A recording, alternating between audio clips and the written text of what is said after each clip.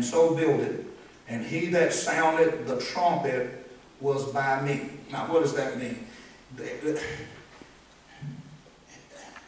Back during that date, they had these little bugles, these little snail-made, short uh, trumpets, uh, and when they blew them, that means the enemy was approaching. And everybody picked up weapons, everybody got on their posts. So the, it's like the president of the United States carrying the red phone in the shape to push the button. Mm-hmm. So then that horn, that bugle blower, shofar player, stayed by the leader because you don't want the shofar player out there blowing when he thinks he ought to blow.